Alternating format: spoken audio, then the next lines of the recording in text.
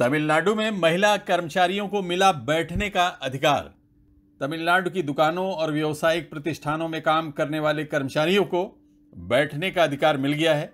तमिलनाडु ऐसा कानून लाने वाला दूसरा राज्य बन गया है। इससे पहले केरल ये नियम लागू कर चुका है। तमिलनाडु में लागू हुआ बैठने का अधिकार महिला कर्मचारियों के लिए फ़ायदेमंद साबित हो रहा है। वो कई कई घंटों तक खड़े होकर दुकानों और रिटेल स्टोर में काम करती हैं।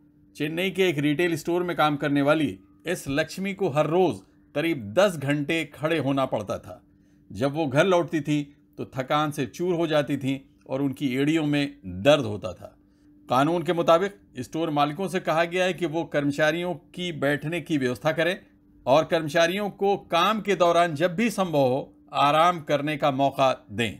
पिछले दस सालों से कपड़े के स्टोर में काम करने वाली चालीस साल की लक्ष्मी कहती हैं कि अब तक हमारी शिफ्ट के दौरान आराम का समय हमें सिर्फ़ 20 मिनट के लंच ब्रेक में मिलता था। हमारे दुखते पैरों को सहारा देने के लिए हम कुछ पल के लिए शेल्फ के सहारे आराम कर लेते थे। वो कहती हैं, ग्राहक नहीं होने पर भी हमें फर्श पर बैठने की इजाज़त नहीं होती है। देश में कई दुकानों और रिटेल स्टोर्स में काम करने वाले कर्मचारियों को खड़े होकर काम करना होता है। ये एक ऐसा नियम है जो समान रूप से सभी कर्मचारियों पर लागू होता है। तमिलनाडु समेत दक्षिणी राज्यों में बड़े परिवार द्वारा आभूषण, साड़ी और कपड़ों के रिटेल स्टोर चलाए जाते हैं। वो महिला ग्राहकों की सेवा के लिए कम आय वाले परिवारों की महिलाओं को काम पर रखते हैं। साल 2018 में केरल ने इसी तरह का कानून लागू किया था। टेक्सटाइल स्टोर में काम करने वाले कर्मचारियों ने इस अधिकार को लेकर प्रदर्शन किया। अधिकार समूहों का कहना है कि श्रमिकों के स्वास्थ्य की रक्षा के लिए यह देर से उठाया गया स्वागत योग्य कदम है। उन्हें प्रबंधकों द्वारा निरंतर निगरानी में और प्रतिबंधों का सामना करना पड़ता है। आरोप तो ये भी लगते हैं कि महिला कर्मचारियों को बाथरूम के इस्तेमाल से भी रोका जाता है।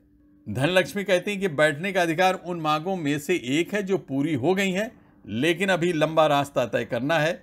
वो कहती हैं कि उचित वेतन उचित टॉयलेट ब्रेक और कम निगरानी की लड़ाई जारी है, जबकि दुकान मालिक सीसीटीवी कैमरों को सही ठहराते हुए कहते हैं कि ये कस्टमर द्वारा चोरी को रोकता है।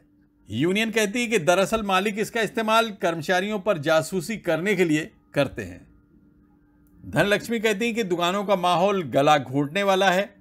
केरल में यूनियन सीसीटीवी निगरानी पर रोक लगाने की मांग कर रही है। यूनियन के सदस्य कहते हैं कि इसका इस्तेमाल कर्मचारियों को आपस में बात करने या कुछ समय के लिए अपनी जगह छोड़ने के लिए दंडित करने के लिए किया जाता है। बैठने के अधिकार मिलने के बाद यूनियन दूसरे मुद्दों को धीरे धीरे उठाने के लिए प्रोग्राम बना रही है। Abid Naqvi, press nine news, Mumbai.